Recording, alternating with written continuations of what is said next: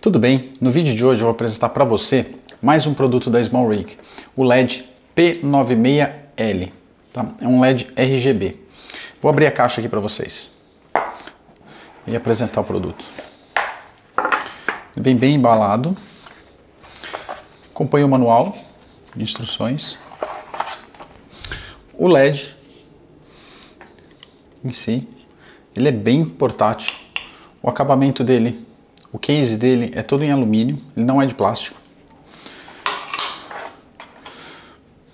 Acompanha uma sapata e um tripé de mesa. Esse tripé é em metal, as pernas dele, você pode estender as pernas. Ele tem uma ball head para ajuste de inclinação.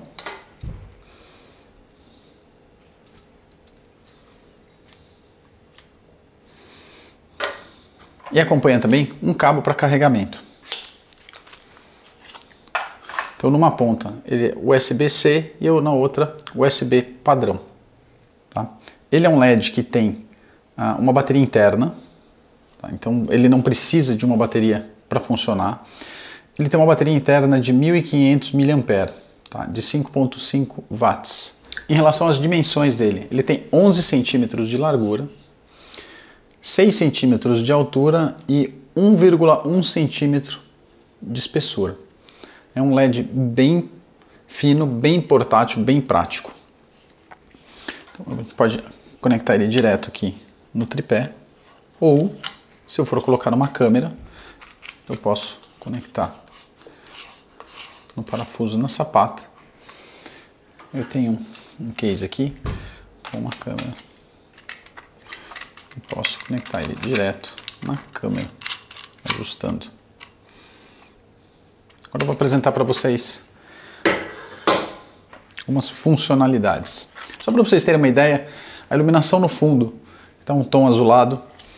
Tem um desse lá atrás. Pelo tamanho dele, ele, tem, ele é bem potente. Tá? Aqui então nós temos o botão liga e desliga em cima e um botão de modo. O que, que seria esse botão modo?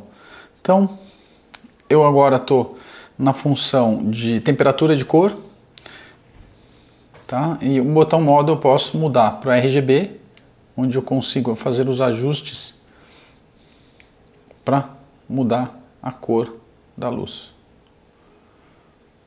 Então passando de vermelho, amarelo, verde.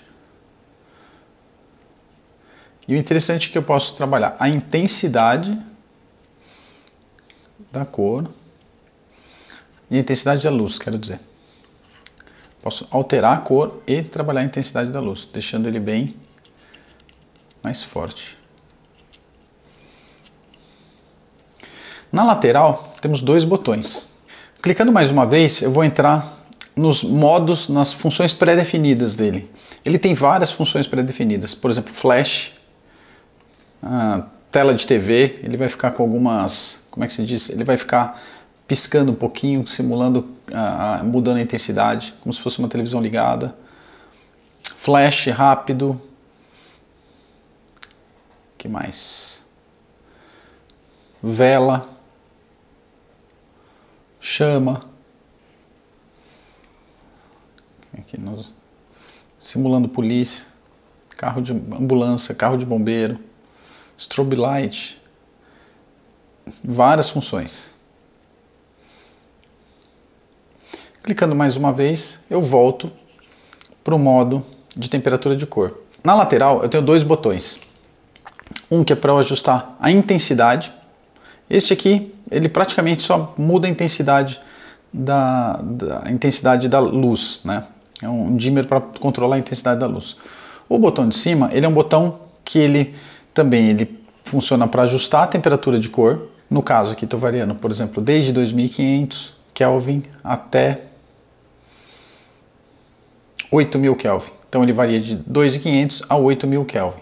Então, resumindo, é um LED pequeno, prático, portátil. Se você precisa de um LED para o seu vídeo, para o seu vlog, para fazer um evento, para fazer alguma filmagem, precisa de um LED portátil e prático, este é o LED. E ele tem um detalhe bem interessante que nem todo LED tem. Por exemplo, ele te diz aqui, com a intensidade de luz que você está trabalhando, ele já te diz quanto tempo previsto de bateria.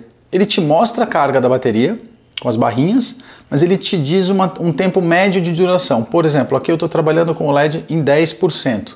Ele está me informando aqui um pouco mais de duas horas de carga total da bateria, a 10%. Se eu diminuir um pouco mais, ele vai atualizando essa informação. No brilho máximo, a duração da bateria, obviamente, vai ser menor. Tá? Um detalhe interessante, que nem todo LED tem, é, é que você pode conectar ele, por exemplo, em um power bank ou uma fonte USB e deixar ele conectado enquanto é utilizado.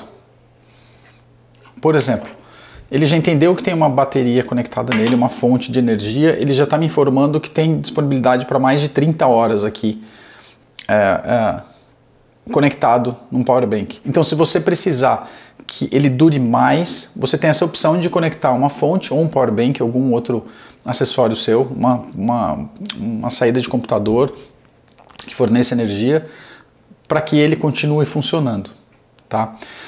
Provavelmente alguém vai pensar que se pode conectar numa saída USB de câmera, as saídas USB de câmera elas não liberam energia, tá? somente dados. Então provavelmente você não vai conseguir conectar na câmera e, digamos assim, drenar a bateria da sua câmera, que nem é o ideal também, né? A gente precisa da bateria para gravação. Se tiver alguma dúvida, pode deixar seu comentário no vídeo ou pode acessar nosso site, lá tem nossos contatos, tanto o e-mail quanto o WhatsApp. Espero que tenham gostado. Deixe seu like, ative a notificação e siga o canal. Até o próximo.